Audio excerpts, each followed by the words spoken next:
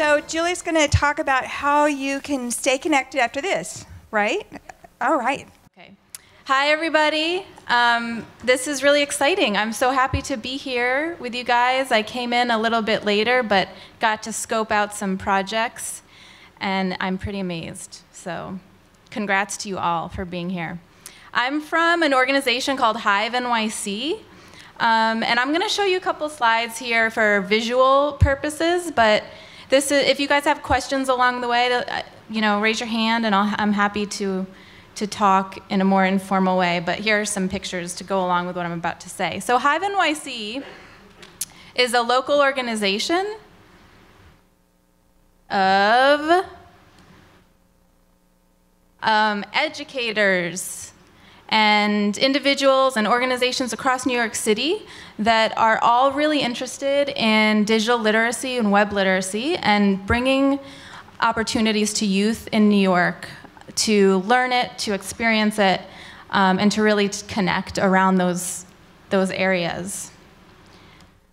So there's a few things that are very important to us one of them being peer to peer mentoring. How many of you sat next to somebody today and had a discussion with them and learned something from them? Raise your hand. Awesome. That's exactly what we like to see at Hive. Uh, building partnerships and collaborations, that's another thing we do, and you did that today as well. You worked with other people, you learned from them. We really support interest driven learning. Another reason you're here today. You're, you're learning about your interests, you're growing, you're seeing things you like, and that engages you to go after them and learn more about them specifically. And you explore new ideas, you contribute to, to each other's work, and you grow from that. And one of our bullet points is contribute to a global network, and that's really key to Hive. There, we are one piece of a large network of hives across the United States and the world. I'll show you a map in a minute. Um, and we are also a Mozilla project, which means that we are connected to a large group of global, a, a, large global network that includes a lot of different individuals that are doing all kinds of different work. So we try to bring in all that Mozilla knowledge and expertise into our local network here in New York City. And here's a picture of an event that happens every year called MozFest, Mozilla Festival. Um, and we go to this and we learn, we get to meet so many cool and interest and cool people and interesting projects. We try to bring it back to our network here. We share it with our our organizations we work with and um, individuals that are part of the network. So we really try to grab everything we possibly can and bring it back to New York City. And here's a map. You can see the little hexagons there scattered um, of other, hi other hives in different cities, and there's a list at the bottom. This, will, this is growing continuously. So you can see Chicago and Toronto, Pittsburgh. Uh, newer ones are Bay Area in California, Vancouver. So the model that we've created here in New York City is really starting to grow. People are very interested. Who is Hive NYC? There's a map here I pulled, and it's zoomed out, so it doesn't give you great detail of where exact locations are. But there are about 82 organizations that are part of this network.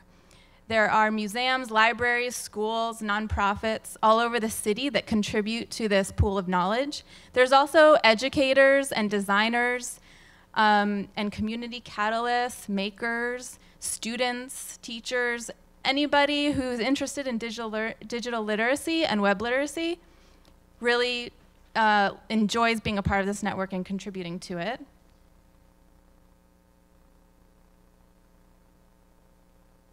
This is a short video I, I wanted to share with you that will give you a, an idea of an event model that we that we offer a few times throughout the year. I don't know if this sound's going to play though.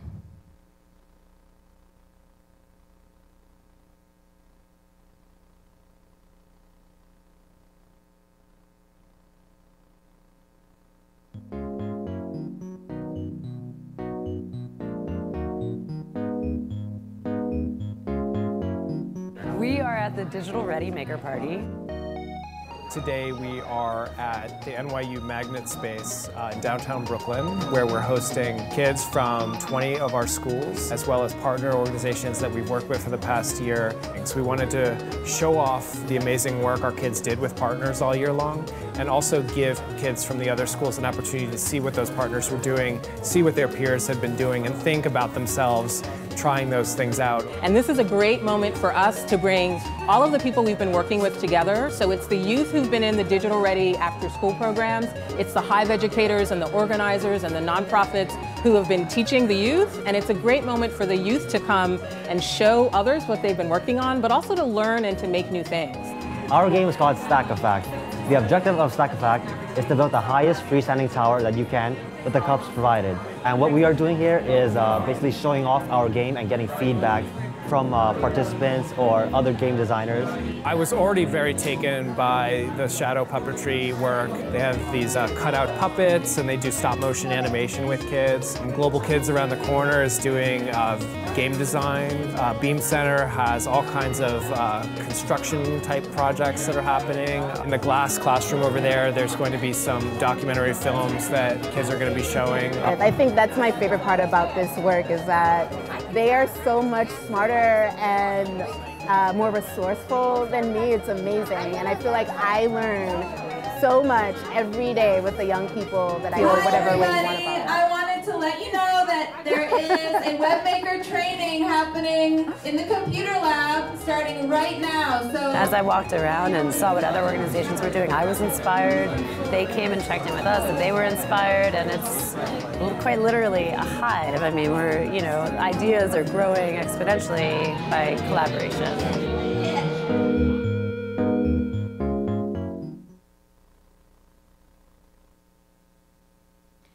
And that was my voice in the background. That was very embarrassing, yelling into the microphone. um, so there's some organizations here that are actually a part of the Hive. Lower East Side Girls Club, Dave over here. They are part, yeah, round of applause. I think the Knowledge House is here, but I'm not sure. They are also a part of the Hive. They were, okay. And anybody else that I'm missing? Girls, Girls Code, are you guys here? I don't know. I'm not sure. Super. AMNH, part of the network. Yeah. So there's a lot of them, more and more every year.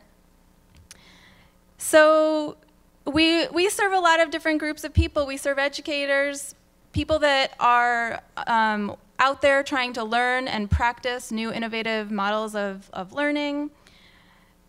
But then we also have um, youth-facing events and ways for people who are interested in learning new skills and trying new things to participate in the stuff we have going on through Hive. Youth events like the one I just shared, there's lots of different ways. Some of, some of them are small, some of them are large. This one in particular was at the Bronx um, Museum, no, sorry, the Bronx Library a couple summers in a row where it was a big maker party. So lots of different models of things. But then we also have really focused groups where educators come together and we host we host these gatherings for them to explore very particular topics around education and digital literacy and web literacy.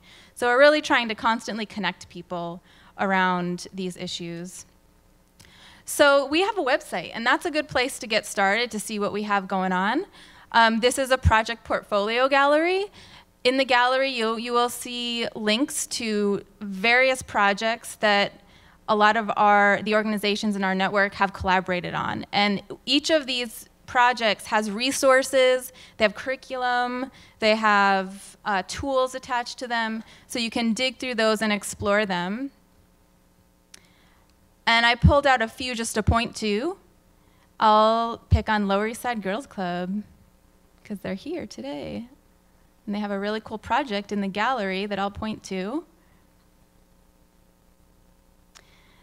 For example, this is one of the things we have up, Making Waves, the Science of Sound. So you can learn about this program that's happening at the Lower East Side Girls Club, and at the bottom of the descriptions here, you'll see some other information.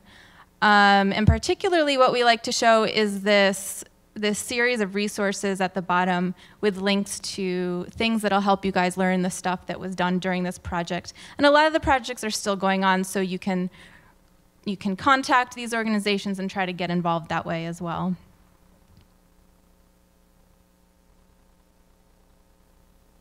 No, I'm not going to be able to get back to my slideshow.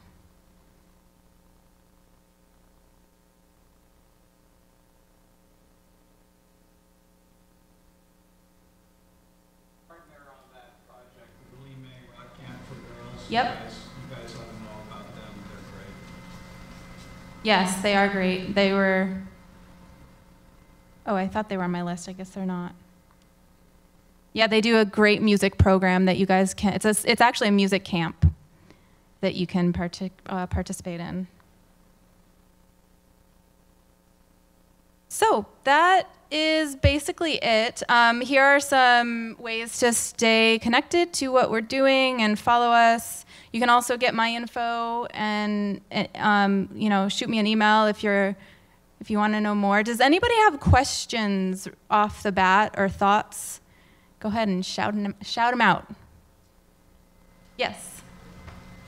What were you hoping to achieve by presenting here? Did you hope we would get involved in That's a good question. I mean, I'm I, I think the biggest thing for me is to just make sure everybody knows that there's a lot going on here, and Hive is a good place to start to find it. We really want people to um, to be able to find pathways through the great things that are happening in New York City. Sometimes it's hard. There's so much, but there's not really a place to to find it all. So I think that's one of the biggest reasons why we thought it would be great to come to this event in particular.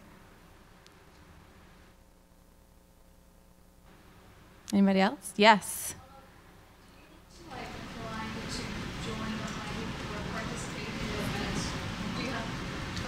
Do you have to like apply or I didn't hear you. do you need to apply or join or sign up or register? That's a good question.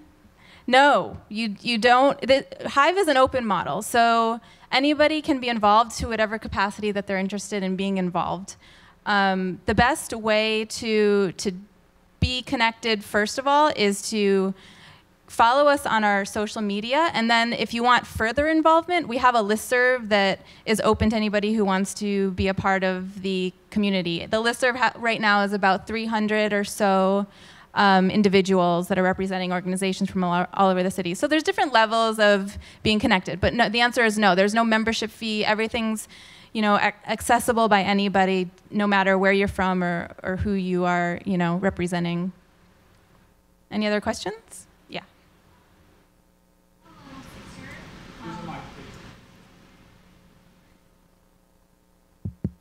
I have a little sister. How can I get her involved? How, how old is she? She's nine. Oh. Um, I think you, you'd probably be a good advocate for her to be monitoring the stuff coming through. And, it- you know, it, I can talk to you in more detail, but if you wanted to be on the list serve to kind of keep track of everything that's happening, you can do that. Um, I think a good place to start is on the website looking at all those project portfolios and seeing there's a lot of organizations that have specific youth programs that are directed towards that age group. So I think identifying those would probably be a good, a good place to start.